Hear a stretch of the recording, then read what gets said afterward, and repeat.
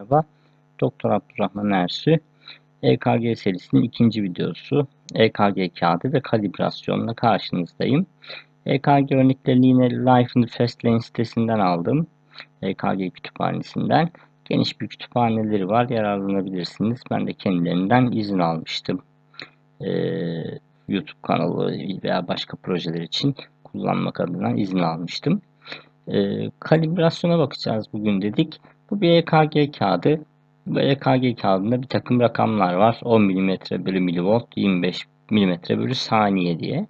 Bu bize standart e, kalibrasyonu gösteriyor. Yine kalibrasyonu gösteren bir işaretimiz de var burada. Bunlar ne demek? Ona bir bakalım öncelikle. E, 10 mm bölü milivolt şu demek. Kalbin 1 milivoltluk aktivitesini 10 milimetrelik bir alana yaz. Şöyle EKG'nin yatay ekseni hızı gösterirken dikey ekseni e, elektriksel akımın şiddetini, voltajını gösterir bize. E, bu da şu demek, dikey eksende 1 milivoltluk aktiviteyi e, 10 milimetrelik alana yaz. Bakın burada da 10 küçük kare var. 1 küçük kare 1 milim, 5 küçük kare 5 milim yani bir büyük karede 5 milim olmuş oluyor böylece. Ee, buradaki işareti görüyorsunuz. Bir büyük kare 5 küçük kareden oluşuyor. Burada iki büyük kare var. Ee, 10 milimetrelik alana 1 milivoltluk akımı elektriksel aktiviteyi yazdır. Bir de hıza bakalım. 25 milimetre bölü saniye. Bu şu demek kalbin 1 saniyelik elektriksel aktivitesini 25 milimlik alana yaz. Yani 5 büyük kare içerisinde 1 saniyelik aktiviteyi göster bana. Her bir küçük kare 1 milimetreydi. 25 küçük kare 25 milim. Yani 5 büyük karede 1 saniyedi. E, burada şöyle bir şey var. Hani klasik bilgi bir küçük kare standart hızda 0.04 saniye. Bir büyük karede bunun 5 katı 0.2 saniye. İşte bu buradan geliyor. Yani 5 büyük kare 1 saniye ise 1 büyük kare bunun 5'te 1'i 0.2 saniye. Bunun 5'te 1'i de 1 küçük kare 0.04 saniye. Peki bunlar bizim ne işimize yarıyor? Yani sadece standart kalibrasyonda standart hızda çeksek bu EKG'leri olmaz mı? Olmuyor. Peki neden? Nasıl? Burada standart e, kalibrasyonda çekilmiş bir EKG var. 10 mm milivolt kalibrasyonunda yani 1 milivoltluk aktiviteyi 10 milimetrelik derinliğe ya da yüksekliğe yazdırmış gördüğünüz gibi. Burada 5, 10, 15, 20 yaklaşık 20 küçük kare var. Yani 20 milimlik bir elektriksel aktivite var ve bu 2 milivolta denk geliyor. Ama EKG'ye baktığımızda bunlar S dalgaları. S dalgaları iç içe geçmiş. Bu S dalgaların iç içe geçmesini istemiyoruz. Bu bizim değerlendirmemizi zorlaştıran bir faktör. Biz bunları e, küçültmek istiyoruz. Daha küçük görmek istiyoruz.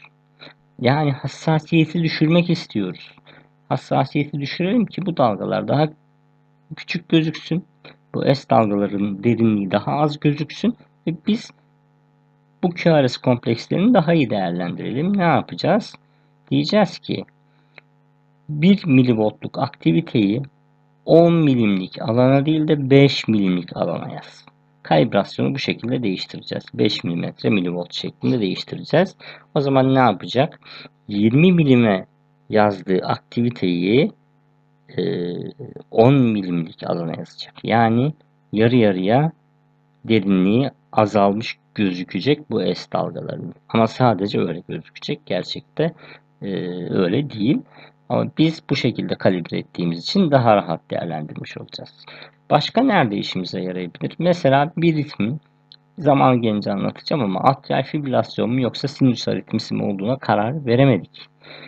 P dalgası var mı yok mu çok emin olamadık. O zaman hassasiyeti arttıracağız. Diyeceğiz ki 1 milivoltluk aktiviteyi 10 milime değil de 20 milime yaz. Çünkü çok emin olamadık. O zaman derinliği artacak belki bu S dalgalarının vesaire. Bu T dalgaları daha yüksek gözükecek evet. Ama şu P dalgaları da mesela belki çok burada belirgin ama daha belirgin olmadığı durumlar var. Ee, P dalgalarının da yüksekliği artacak. Biz P dalgalarını da daha belirgin göreceğiz. O zaman diyeceğiz ki evet aralıkları eşit değil ama P dalgaları var. Bu bir sinüs aritmisi. Ya da A evet gerçekten P dalgası yokmuş. Bu atrial fibrilasyonmuş. Emin olamadığımız durumda hassasiyeti arttırabiliriz. Ya da hassasiyeti azaltabiliriz buradaki gibi. Peki 25 mm saniye demiştik. 1 saniyelik aktiviteyi 25 milimlik alana sığdır. Yine işaretimiz burada görüyorsunuz. Bir küçük kare 004 saniyeydi. Bir büyük kare 02 saniyeydi. Bunu hatırlatalım tekrar. Şimdi burada bir taşikardi var. Hızı yaklaşık 150. E, dalgalar net bir şekilde seçilebiliyor. Ama kalp hızı bazen o kadar yüksek olur ki bu değerlendirmemizi imkansız kılabilir. E, dalgaları net seçemeyebiliriz. Hangi dalga, neresi vesaire çok ayırt edemeyebiliriz. O zaman ne yapacağız? Şimdi bu bir saniyelik kesite bunu yazdırmış. Yani kalbin bir saniyelik aktivitesi bu. Şimdi biz diyeceğiz ki bu bir saniyelik aktiviteyi 25 milimlik alana sıkıştırma. Aralıklarını genişlet. 50 milimetrelik alana sıkıştır. Yani 50 milimetre saniye hızında çekeceğiz. O zaman bu araları açacak. Şuradaki aktiviteyi bu alana yaymış olacak. Sanki biz kalp hızı 150 değil de 75'miş gibi göreceğiz. Dolayısıyla evet daha net değerlendirme şansına sahip olacağız. Ama burada dikkat etmemiz gereken şey EKG e kağıdındaki kalibrasyon işareti ve rakamlarına çok dikkat etmeliyiz. Standart kalibrasyon 25'e 10'dur. Eğer biz 50 yanlışlıkla 50 mm saniye hızında çekilmiş bir EKG'de kalp hızını 75 görüp bunu normal diyorsak bu problem yaratacaktır. Aslında gerçek kalp hızı 150'dir. E, dolayısıyla buna dikkat etmemiz gerekiyor.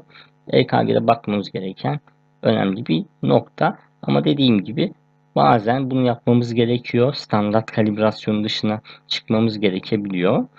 E, bir sonraki e, videoda bir EKG kağıdını artık elimize alacağız. O EKG kağıdında ne var ne yok bir bakacağız normal bir EKG nasıl değerlendirilir ona bakacağız en önemlisi. Yani normal bir EKG'yi değerlendirirken nelere bakacağız, bakıyoruz. Onlara başlayacağız. Herhalde tek bir videoya sığmayacaktır o. Ee, ama arda arda videolar şeklinde gelecek. Dinlediğiniz için teşekkür ederim. Kanala abone olmayı ve bildirimleri açmayı lütfen unutmayın. Ki e, gelecek videolardan da haberiniz olsun. Kolaylıklar diliyorum herkese.